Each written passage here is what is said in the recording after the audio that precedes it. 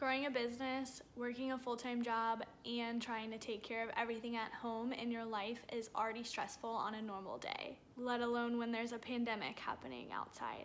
It's so easy to lose focus and momentum, get overwhelmed, and then just bag everything that you are working towards. What if I told you that it is super possible to work on your dreams and goals, continue with the momentum, stay motivated, and kick your feet up and watch Netflix? In this video, I'll be sharing with you five simple tips to help you stay motivated during tough times so you can grow your business and still rest and enjoy your life. All right, let's get started.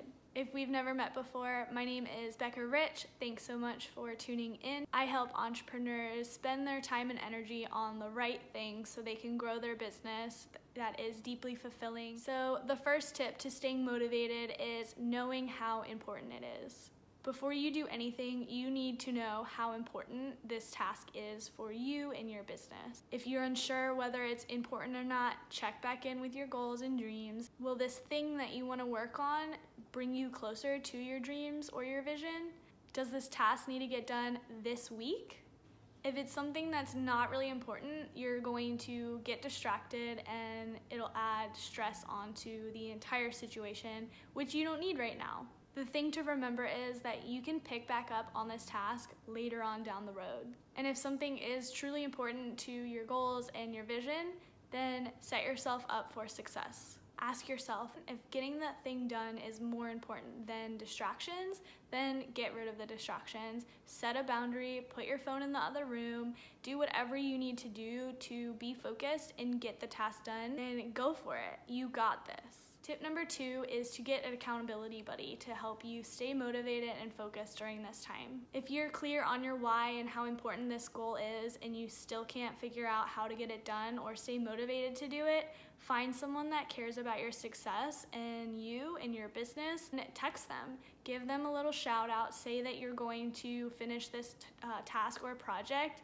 by this certain time and that will light a fire under your booty and you'll get it done. Then once you finish the task, send them another text message or email and say, I've done it, yay, send some confetti and glitter, you have done it.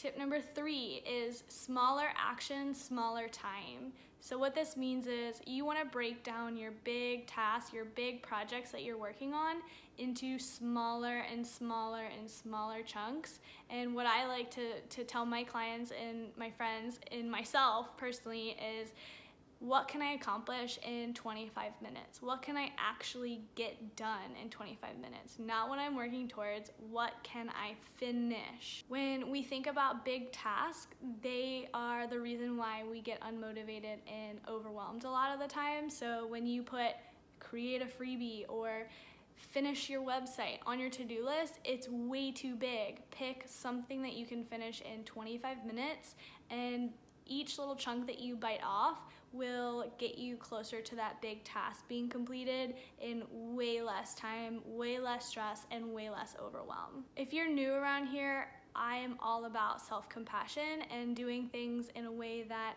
make us feel better instead of worse about ourselves. So tip four is being less hard on yourself. When you are hard on yourself for not finishing everything on your to-do list or the plan, the schedule that you made for yourself this week, does not go to plan, being hard on yourself is worse and will continue to demotivate you, derail you away from your goals, not towards them.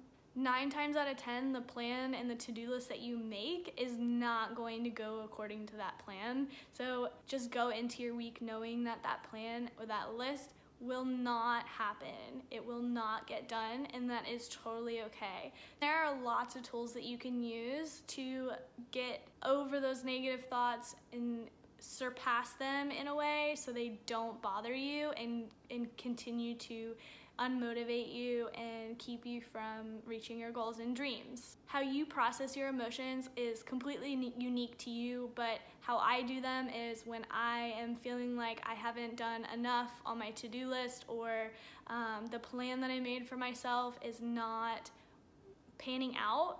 I'll just write down on a piece of paper or in my journal about what negative feelings are coming out of that and just looking at it and processing it will help me move on from those negative feelings and get back to serving my clients and building the the, build, the business and the life that I want to create. And tip number five is honor yourself and your time. A great way to stay motivated during this time and all the time is to have a list and keep a list of all of the things that you do. I call these lists have done lists.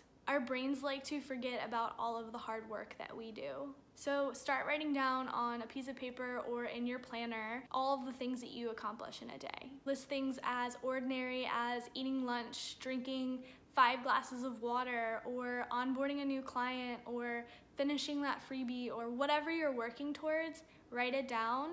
And it could be watching Netflix for seven hours you'll soon to know that I am a huge Netflix fan. I love watching Netflix. Have done lists encourage feelings of abundance and fulfillment. Having those feelings will continue to motivate you. It will be a positive cycle instead of being hard on yourself. When you go and look at the list of all the things you've accomplished, you will be way more likely to celebrate yourself, reward yourself, something that your brain really wants, a nice little pat on the back.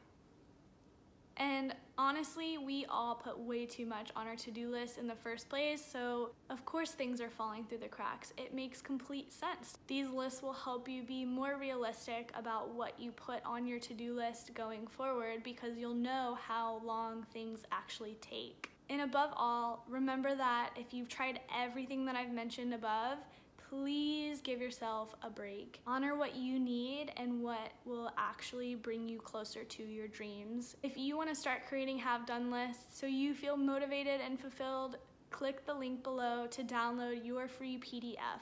Thanks for watching. Bye.